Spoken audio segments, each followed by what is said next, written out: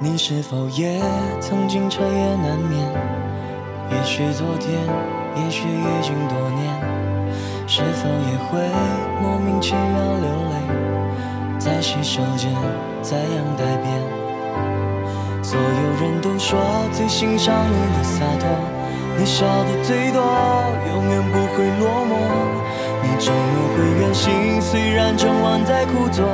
看远方泛白，看着世界的轮廓。如果你也这样过，或者正在这样着，有个黑洞在吞噬你曾热爱的生活。不知从何时开始，我们内心的角落，内心着你的角落，怎么说？该怎么说？也许想过。